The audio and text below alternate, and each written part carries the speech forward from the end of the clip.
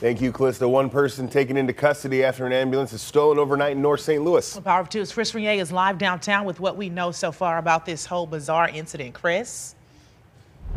Bizarre indeed. Blair, good morning to you. Ty, good morning to you as well. We are just outside of police headquarters this morning. City officers were able to track down that stolen ambulance and take a woman into custody. Officers receiving help in locating the stolen medical unit from some GPS information. Take a look at video now from Harney and Emerson in North St. Louis. That is where the ambulance was found just minutes after it was taken overnight. That is in the Walnut Park East neighborhood of North City.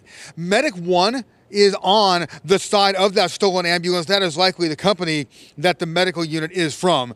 This all happening about 2:30 this morning. We understand the ambulance was dispatched by the city for a call possibly about a psychiatric patient on the 2800 block of Arlington in North St. Louis. We're told just moments after the medic crew arrived at that scene, the ambulance was taken.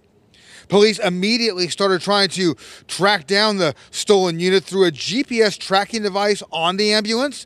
Information from that device was given to officers in the field by officials. We believe the ambulance made two stops, including at a church, before police found it and took that woman into custody. That location there at Harney and Emerson is only a couple of miles away from where the ambulance was originally stolen.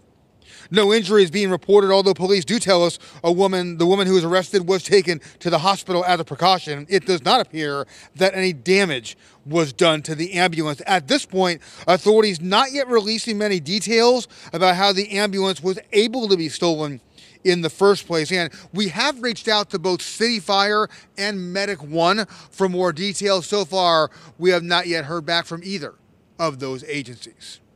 For now, live downtown, I'm Chris Regnier.